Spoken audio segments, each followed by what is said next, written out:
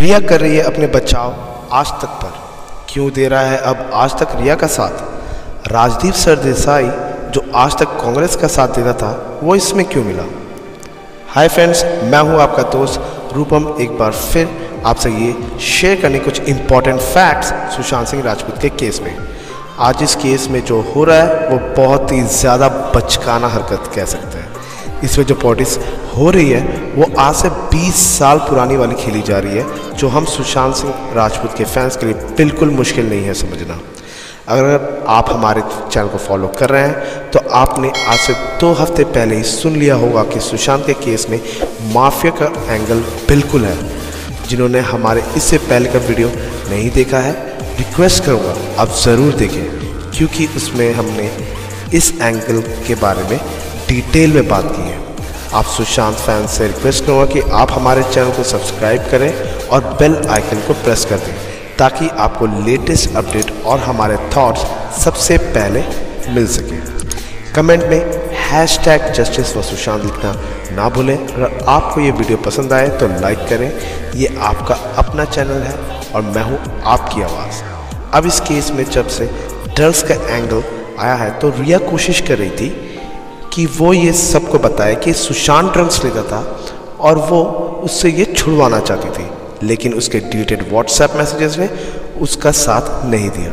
क्योंकि ड्रग्स का ज़िक्र उसके व्हाट्सएप मैसेज में 2017 से था, जब वह सुशांत की गर्लफ्रेंड नहीं थी। रिया का ये कहना कि वह फ़्लाइट में डरते थे, ये बहुत ही ज़्यादा हास्यपद है।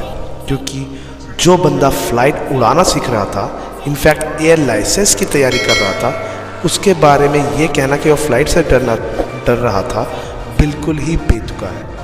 मतलब अब उसे कुछ समझ नहीं आ रहा है कि क्या कहे और क्या नहीं। रिया आज अपने चौकीदार का पिक डाल के सहानुभूति लेने की कोशिश कर रही थी कि उस पर मीडिया वाले अटैक कर रहे हैं। क्यों? सुशांत के पिता के लिए उसके मन में कोई सहानुभूति नहीं है। आज सुशांत के पापा ने सीधे कह दिया कि रिया धीरे धीरे सुशांत को जहर दे रही थी। अब ये भी कोई आश्चर्य की बात नहीं होगी। नारकोटिक्स कंट्रोल ब्यूरो यानी एनसीपी टीम ने अब ये क्लेम पुख्ता कर दिया है कि रिया और सैम्यूल मिरांडा सुशांत के पैसों को अपने फ़ायदे के लिए इस्तेमाल कर रहे थे। एनसीबी की टीम आज दिल्ली से पहुँचते ही काम पर लग गई। मुंबई में उन्होंने रिया के पिता के खिलाफ समन जारी किया और उनको बुलाकर उनके रिकॉर्ड उनके स्टेटमेंट को भी रिकॉर्ड किया। आज तक को हम सब जानते हैं कि वो कांग्रेस की सफ़ाई पेश करता है और वो anti government I mean BJP के अगेंस्ट में ही रहता है। फिर अचानक वो रिया को क्यों बचाने के लिए ये इंटरव्यू रखा?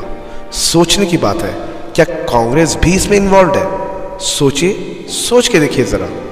अंत में आप सबसे यही कहूँगा, अब पिठानी ने कबूला है, अब वो दिन दूर नहीं जब रिया भी मुँह खोलेगी, तब ये सारा माहौल कैसा होने वाला है वो बहुत ही भयानक लग रहा है। सोचिए, सोच के देखिए ज़रा, क्या यह केस से इम्पैक्ट आएगा पूरे बॉलीवुड में?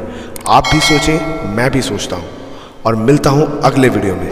कमेंट में हैश टैग जस्टिस व सुशांत लिखना ना भूलें। और आपको ये वीडियो पसंद आए तो लाइक करें और चैनल को सब्सक्राइब करें।